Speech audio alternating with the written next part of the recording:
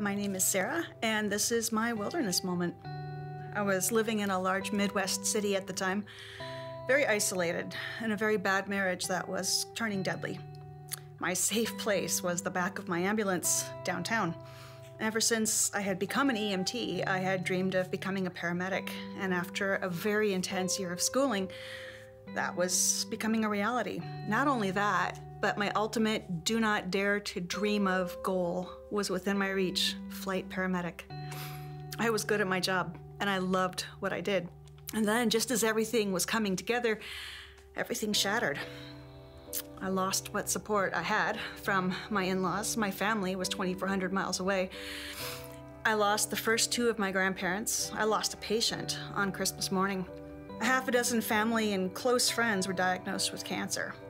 I ended up enduring more betrayals than I thought a heart could ever handle. To top it all off, I had a back injury, and then a head injury, and then within months, a second head injury. And my career, my dreams, a huge piece of my identity was gone in an instant. My wilderness was more of a howling wasteland. I ended up fighting with suicidal thoughts day in, day out for almost a year and a half. My hope was gone and I felt like my entire life had burnt to the ground. I vividly remember one bitter, cold, stormy October night sitting in the grocery store parking lot, too exhausted and confused to do anything but breathe. And out of nowhere, there was a deep peace that made zero sense. Everything still hurt, circumstances hadn't changed, but I knew that everything was going to be okay. Eventually. and I was not alone.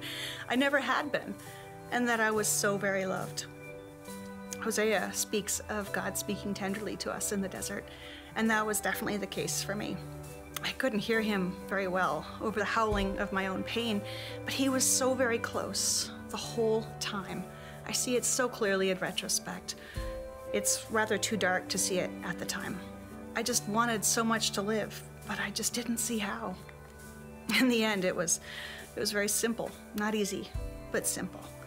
Psalm 118, verse 17 says, I will not die, but live, and will proclaim what the Lord has done. I took a stand on that. I decided to live and simply kept putting one foot in front of the other. Even the tiniest effort was met and matched by his full support and power, and I would have just enough strength to do the next thing. In the end, the Lord Himself did much of the work. He delights in making beauty from ashes. He just needed me to hand over my ashes and do my 5%. Seek Him, seek help, accept help when offered, and not stop until I had the help I needed. And His strength covered the rest, gladly. And from my broken pieces, He indeed created something so beautiful and life giving. Truly, He has redeemed the years of devastation.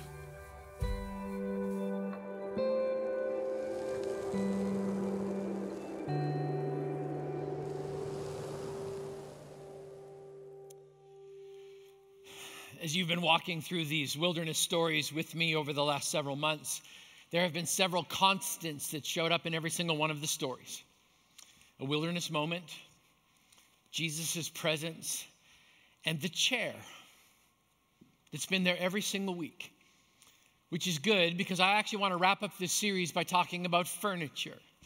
Some of you are like, what in the world is up with that? Just stick with me.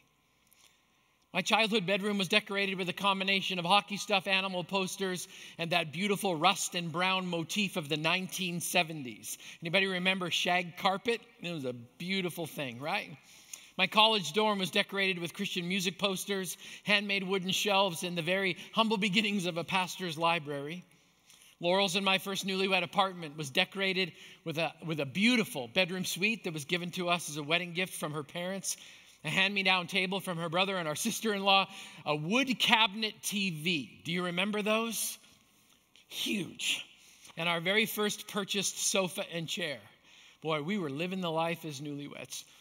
Our home now is decorated beautifully by what I call Laurel's style. It's comfortable and it's cozy. You just feel warm and welcome as soon as you walk in the door. Your furniture actually says a lot about you. And now, if you are suddenly considering redecorating, I have two words for you home goods. All right? That's as good as I got. God actually makes a portable home for himself in the wilderness. And how he decorated actually says a lot about him. God's portable home, a portable church in the wilderness was called the tabernacle. And God took multiple chapters out of the book of Exodus. In fact, if you look at the proportions, he spends an inordinate amount of time talking about his furniture and his style.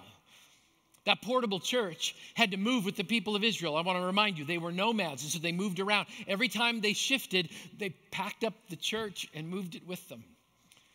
Now, some of you are already wondering what does Old Testament furniture have to do with me? Probably more than you know. Stick with me as we walk through this next little section. Let me show you a picture of the tabernacle so you actually have something in your head it had an outer courtyard area that was surrounded by a curtain.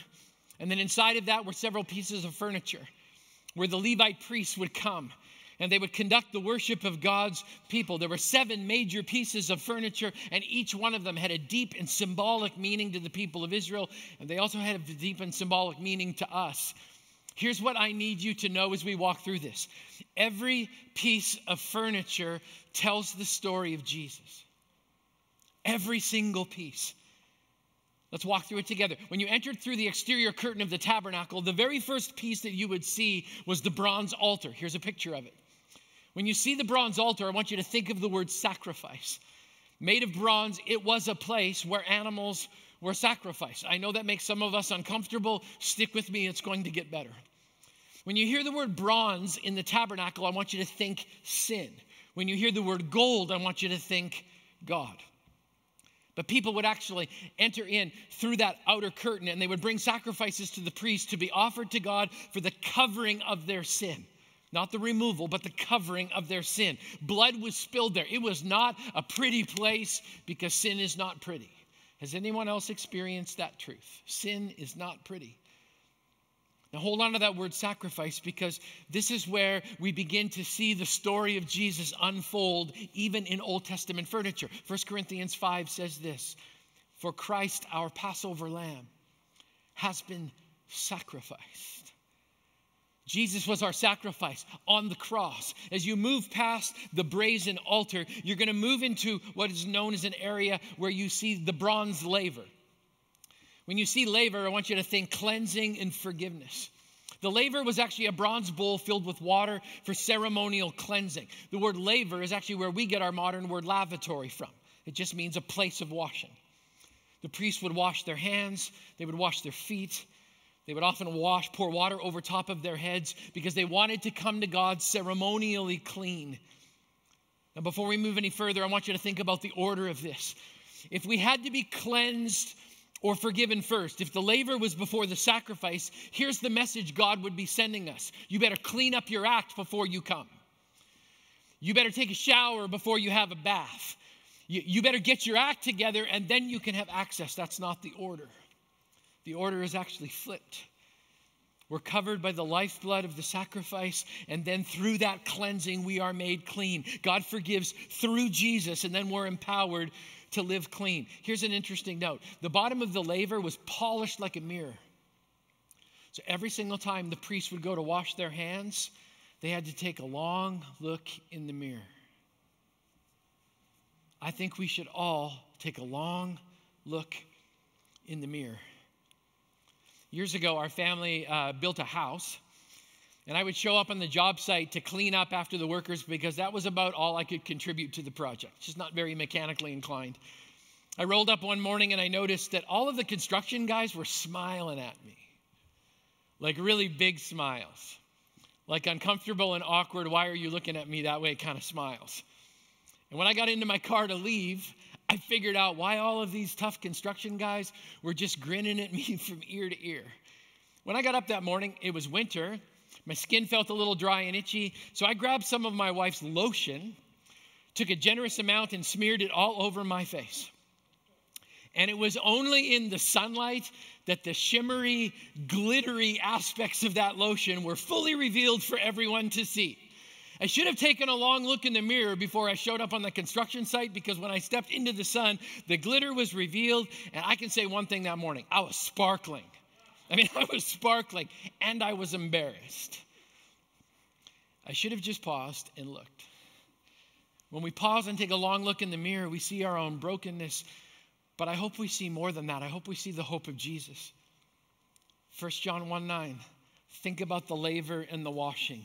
If we confess our sins, he is faithful and just and will forgive us our sin and cleanse us from all unrighteousness. So I got a little homework for you this week. When you wash your hands, and we're still supposed to be doing that a lot, when you do that, if there's a mirror nearby, take a look. Take a look, but don't focus on how broken you are. Focus on how whole Jesus is. We're not going to move from the outer courtyard into the tent that was towards the back of the tabernacle. The first portion of the tent was actually called the holy place. And when you walk through the curtain and, and you actually pushed it back, it would be completely dark except for a seven wicked golden lampstand that was the only source of light. And I want you to hold on to that word light. It's also known as a menorah. And the golden lampstand had an interesting factor to it. There were bowls filled with oil that were filled 24 7 so the light would never, ever go out, not once. It was made of gold. Remember that. Bronze means sin, gold means God. We're actually moving closer to the presence of God. And in order to be able to really see and experience God, we're going to need light. Isn't it interesting that Jesus said, I am the light of the world? Whoever follows me will never, never walk in darkness, but will have the light of life. In the same area of the tent, what was known as the holy place, we find something called the table of showbread. When you hear the word showbread, I want you to think about God's provision. There was a golden table. Here's a picture of it. And the table held 12 loaves of unleavened bread that were left there for an entire week at a time. And then on the Sabbath, the priests would come and they would actually consume all of the bread. Of course, the 12 loaves represented the 12 tribes of Israel. And some of you are thinking, you're going to choke down week old bread that's been sitting on a table in the middle of the desert, in the middle of the wilderness. Don't worry, okay? God actually had us covered. Unleavened bread is already dry, it's not an issue. When you think of that table and you think of God's provision, I want you to think of God inviting his people to his table to connect and to be fed. Isn't it interesting that Jesus would say, I am the living bread that came down from heaven? If a man eats of this bread, he will live forever. So we have the golden lampstand, we have the table of showbread, and then we move towards this large curtain. And before we get there, we encounter something called the altar of incense. We had the brazen altar for sacrifice. Now we see the altar of incense. And I want you to think of the word prayer when you see that. Every morning and evening, the, the priests would go and they would light incense, and that sweet fragrance would fill the tent, then would rise to God just like our prayers do, morning and evening.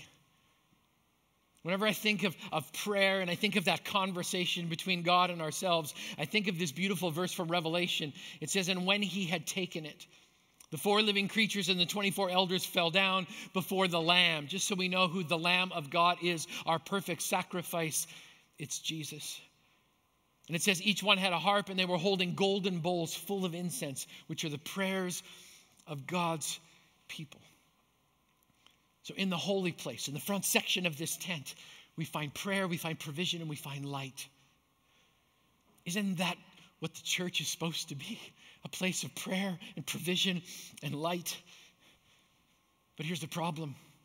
We're there with the table, we're there with the lampstand, we're there with the altar of incense. But along the, the wall now, inter, inter, intersecting in the middle of the tent, is this huge, humongous curtain. Our access is blocked, but I want you to hold on to that word access. This is actually a cutaway picture so that you can see it.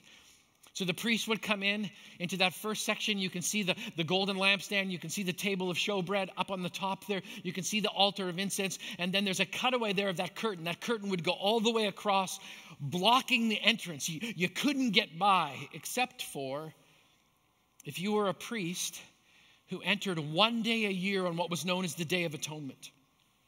Here was an interesting part about that, that priest's job description. They would be selected from among a group of Levites. They would be assigned, you're going to go in to the Holy of Holies on the Day of Atonement. You're going to go back behind the curtain. And here's the deal if you go in and something's not right between you and God, you're dead. So before you go, here's what we're gonna do we're gonna tie a little bell on the bottom of your robe. We're gonna tie a rope to your ankle because if you walk in and everything's not cool between you and God and you die, we need some way to retrieve your body. Who would wanna sign up for that job, right? Oh, yeah, let me do that one. The curtain was a barrier. It was a barrier between God and people. God is holy, we are not. God is perfect, we are imperfect. We are sinners and sinners need saviors. Do you know what we need? We need someone to tear that curtain down. We need someone to shred it from top to bottom. Some of you know exactly where this is going because Easter is coming and you've already heard this story. Hang on for just a second. It's going to get really, really, really good. The Bible says this Therefore, brothers and sisters, since we have confidence to enter the most holy place by the blood of Jesus, by a new and living way open for us through the curtain that is his body. And since we have a great high priest over the house of God, let us, let us draw near to God with a sincere heart, with the full assurance that faith brings, having our hearts sprinkled to cleanse us from a guilty conscience, and having our bodies washed with pure water. It's coming, and some of you are already anticipating this, so I'll give you a clue as to what's going to happen. We need someone to tear that curtain down to give us access to the Holy of Holies, and Jesus is going to do exactly, exactly that. But before that happens, let's find out what's on the other side of that curtain. On the other side of the curtain was what was known as the Ark of the Covenant. Here's another picture so you can visualize it in your head. And when you see the Ark of the Covenant, I want you to think of the word mercy. The ark was a wooden box covered in gold, and inside of it were the Ten Commandments, God's standard for people. There was a golden pot of manna to remind God's people of God's provision in the wilderness. And Aaron's rod was in there. Aaron's rod was a dead stick that came to life, sprang to life in a miracle that we didn't get to cover on our journey through the book of Exodus. Sorry, we just ran out of time. The cover of the ark which represented the presence of God, had two angels. And covering the center of the ark was the most important piece of furniture in the entire tabernacle. It was known as the mercy seat. When the priest would come in on the Day of Atonement, he would sprinkle blood over the mercy seat, and God would make a decision a decision to choose mercy instead of judgment. The mercy seat is where you and I get what we don't deserve God's grace. The Bible says, but because of his great love for us, God, who's rich in mercy, made us alive with Christ, even when we were dead in transgressions. Transgressions, fancy word for the worst of us. Made us alive with Christ, even when we were dead in transgressions. It is by grace that you have been saved. Here's an interesting note. In Old Testament times, if you touched the ark even by accident, you were dead. Here's the cool truth, truth now God has invited us to get up close with his presence. And when we move close, we don't die, we live. Seven pieces of furniture, and they all tell a story of Jesus. God's design is so powerful. Even the furniture has details of the story of Jesus. Chip and Joanna have nothing on God when it comes to furniture and how he designs. This is incredible, impeccable style. And stick with me, it gets better because all of this means this. In our wilderness moments, when we feel stuck in the in between, when, when we are not fully out of where we've come from, but not fully crossed over into where we want to go, when we've left Egypt, but we're still stuck in that in between land and not quite in the promised land, when we find ourselves stuck in that liminal transitional space, this furniture actually points us towards the most beautiful story you have ever heard. Some of you are asking the question, rightly, so what, Grant? Like, so what? Seven pieces of furniture from centuries ago. What does this have anything to do with me right now? Well, let me make this as practical and personal as I possibly can. Here's the answer to your so what. If you're a follower of Jesus today, Jesus is our tabernacle. He's God's presence with us. And isn't it amazing in our mobile society that God goes with us every single step that we take? Jesus is our tabernacle. John 1:14 says this, the word became flesh and made his dwelling. That's an important word. You should circle it. Made his dwelling among us. And we have seen his glory, the glory of the one and only Son who came from the Father, full of grace and truth. Jesus actually made his dwelling amongst us. And this is where the Old Testament nerd in me just comes out because I love this kind of detail. The word dwelling and the Greek word for tent, as intent of meeting. Do you remember that from last week where Moses met with God face to face and they talked like best friends? They're the same as the Hebrew word for this tent in Exodus 33, verse 7, which literally means this Jesus tabernacled amongst all of us. Jesus is God's presence. Jesus is the Holy of Holies, which means this Jesus is the access to God's presence. Some of you don't look convinced yet. I'm gonna have to, I'm gonna have to amp it up just a little bit. And it's not coffee. It's the power of God's word when it actually settles into your soul. I'm studying the tabernacle. I'm looking at all of the different elements. And here's the one truth that just that absolutely wrecked me there's a door.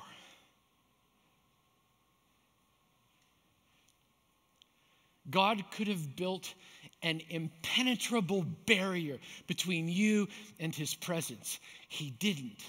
He built a door. And the door is open, and you can walk through it, not on your strength and on your power, but on the strength and power of Jesus.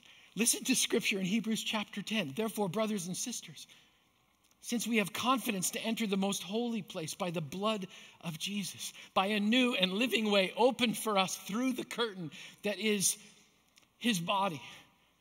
Those of you who are familiar with the Easter story, this amazing thing happens when God actually dies on a cross, when he gives up his spirit, something happened in the temple in Jerusalem. The temple is just a permanent tabernacle.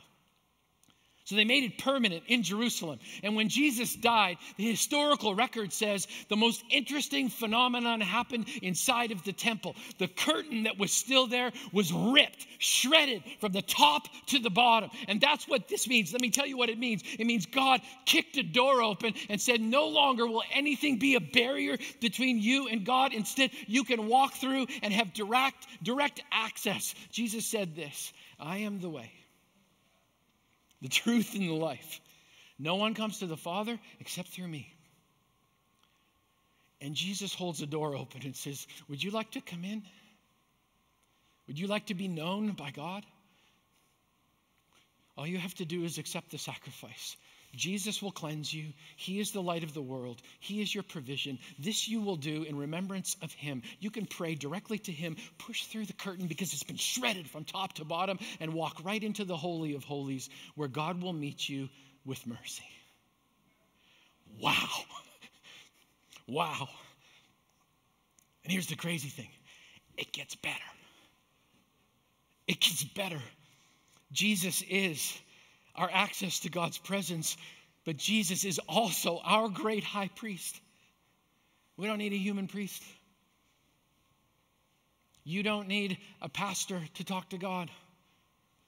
My friend Russell says, get your eyes off the pastor and onto the master. I mean, that's the way that it's supposed to be. I could show up and pray for you. That would be awesome. I would love the opportunity to do that, but you can talk directly to God. You don't need me to show up or any one of our other pastors, Pastor Derek or Pastor Brian or Pastor Wendy. You don't need us to show up and sprinkle clergy dust on top of you to make something spiritual happen. You can talk directly to God because you have a great high priest. His name is Jesus. Jesus hears our confession, Jesus forgives our sin, Jesus grants mercy. I can't absolve anybody from anything. Aren't you glad you have a great high priest who can?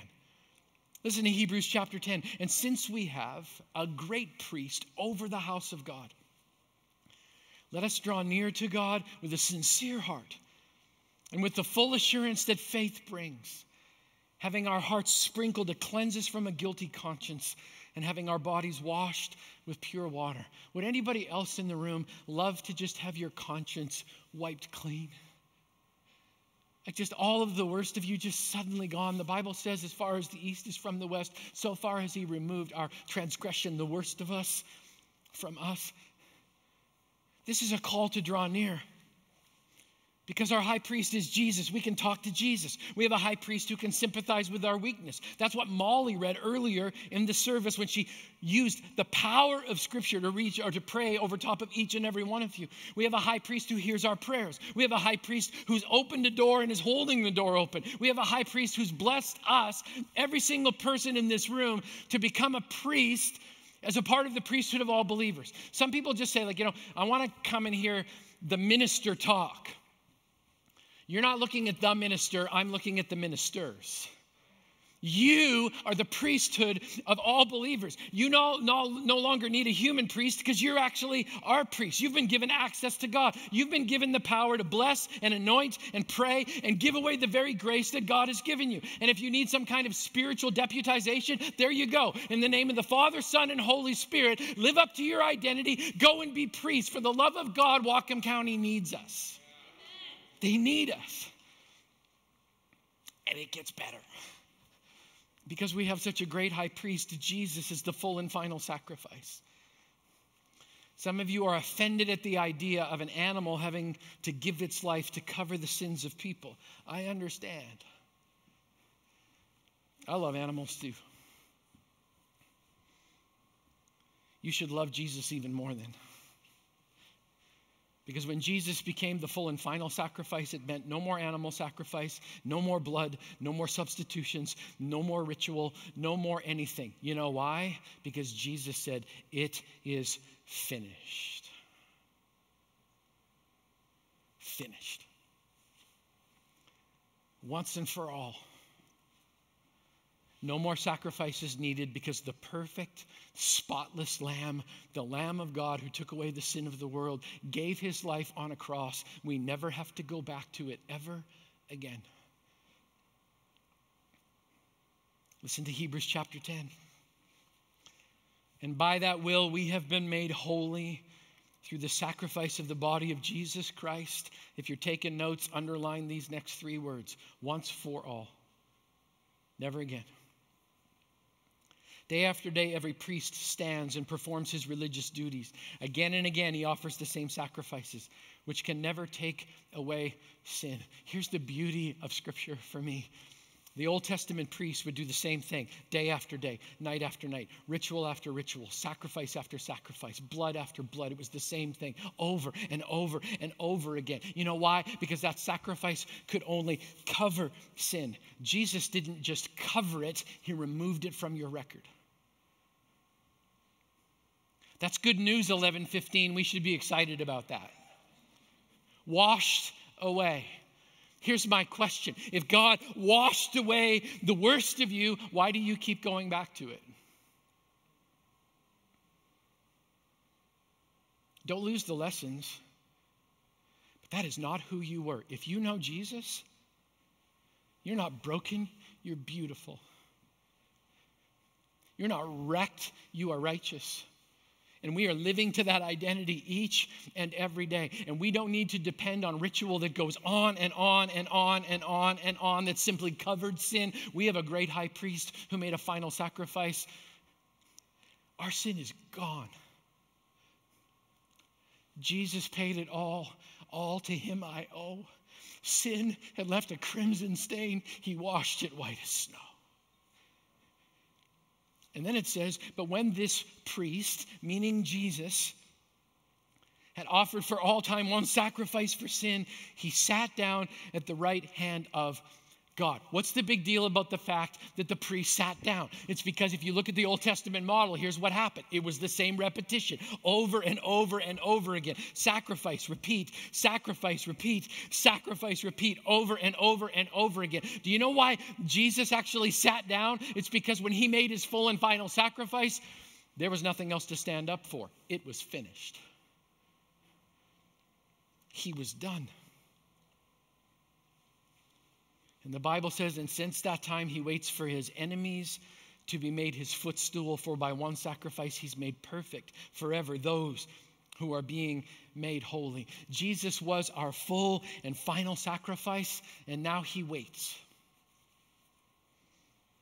He waits for the day when cancer dies, pain is gone, abuse disappears, hunger is eradicated, war is over, violence is a, is a distant memory, racism is crushed. My friends, I have incredibly good news for you. If you are a follower of Jesus, one day all of that evil will become his footstool. It will be under his feet. He will crush it, and it's never coming back again. That's good news. And Jesus will rule and reign forever. Okay, some of you are visual, so I need you to actually walk in your imagination with me. You open up the outer courtyard and you walk in with the sacrifice, and Jesus takes it and he says, I've got this. He becomes your full and final sacrifice, so he walks you to a bronze laver where you can take a long look in the mirror and, and you could get discouraged, but Jesus reminds you, You are my son, you are my daughter. It's not your identity that needs to be fulfilled anymore, it's my identity in you that will give you strength. Why don't you come with me? We have a special place to go. And then he walks you into the tent and you see a golden lampstand and, and the light is flickering and you think in your mind i'm so glad that there's a source of light in here otherwise it would be so unbelievably dark. And then you walk over to the table of showbread and jesus actually takes the piece of bread and he breaks it and he hands it to you and he whispers do this in remembrance of me. And then he welcomes you to the altar of incense and he says let's have a conversation. Let's talk Tell me about your heart. Tell me about your week. Tell me the things that you need from me. I'm here. My presence is never going away. And as that conversation continues, you look down on the ground and you realize that there's two parts of a curtain laying on the dust. And there's no obstacle, there's no barrier. And Jesus takes you by the hand and he walks you up to the Ark of the Covenant and you kneel in front of the mercy seat, and he puts his hand on the top of your head and says, I know this wilderness has been hard for you, but have mercy. Receive mercy. Isn't Old Testament furniture incredible? It's an amazing story. That was for those that are visual, for those of you that are still verbal. Our sin separates us from God. Jesus became our perfect sacrifice once and for all so we could be cleansed. Though our sins be as scarlet, He's washed us as white as snow. Guided by the light of the world, we can commune with God at His table, and we are welcome to eat of the bread of life. Our, our prayers rise to God's heart and God's ears and in the holiest of places where God meets man because of Jesus. We receive mercy,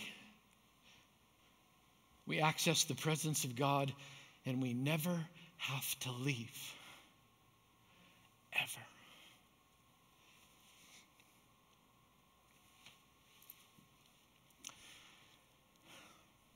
We've done just a, a, cursory overview of the book of Exodus. There's so much more. We could spend years in this book.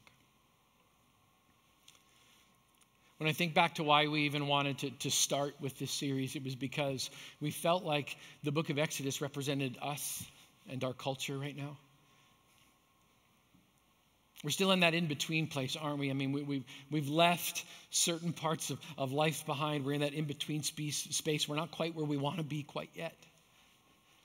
We've left Egypt, but we're not in the promised land. We've, we've left an old life behind, but we're not quite yet in heaven. We're in that liminal in between space, and we just thought together as a team if we could walk people in the wilderness for a little while, how encouraging it would be if we found out that in the wilderness we actually have company. If you've taken nothing else out of the last eight weeks, I hope and pray it would be this. When you are in the depths of your wilderness, God is there.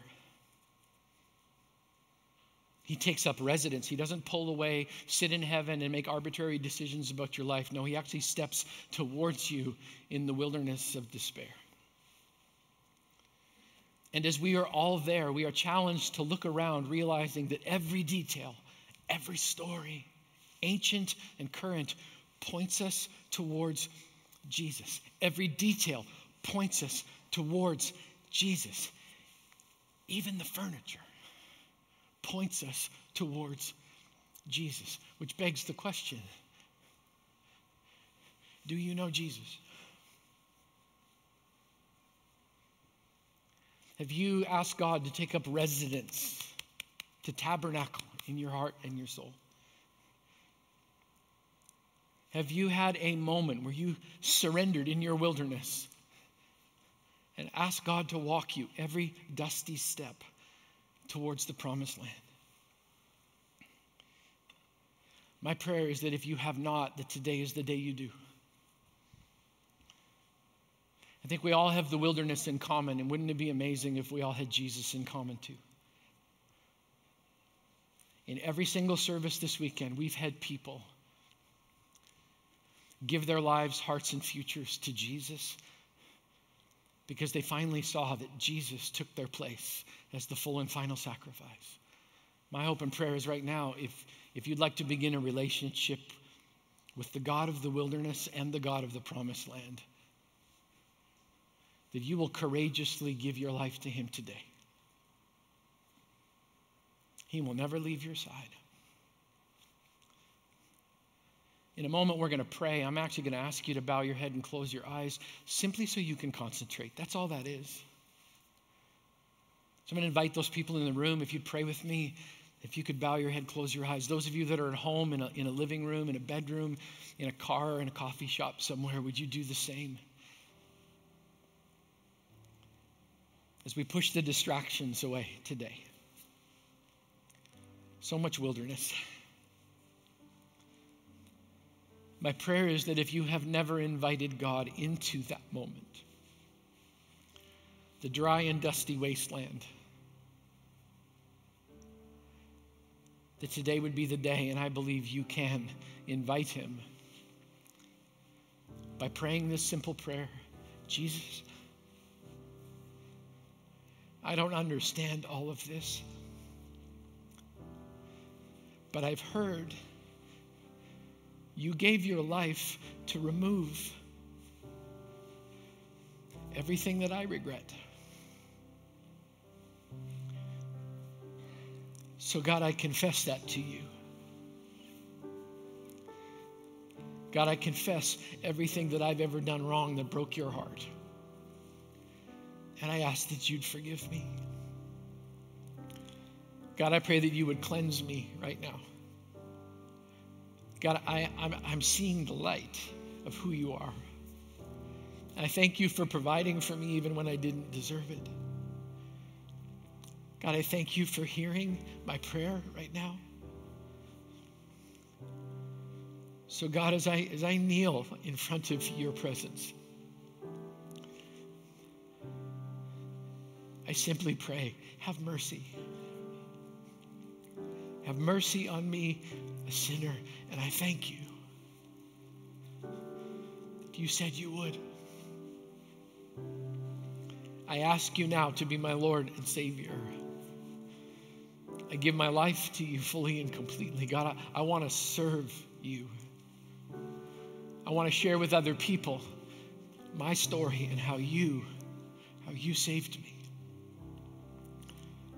So, God, I give my life to you and ask that you would tabernacle in me, that you would take up residence in me, and that you would use the rest of my life to bring honor to you.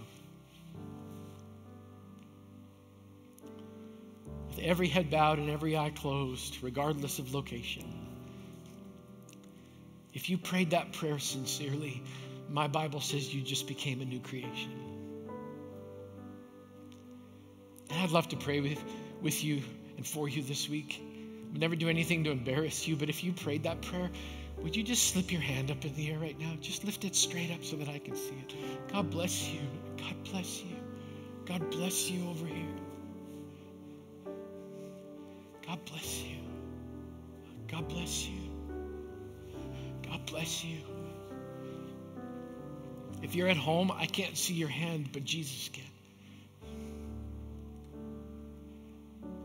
Thank you for making the most important decision of your life. God, for all those who've turned towards you today, I thank you that you meet them at the mercy seat. I thank you that even your furniture tells the story of Jesus. I pray that they would be forgiven and set free today. That they would walk in the way of Jesus through the wilderness all the way home to eternity with you. I thank you for all that you are doing in Jesus' name.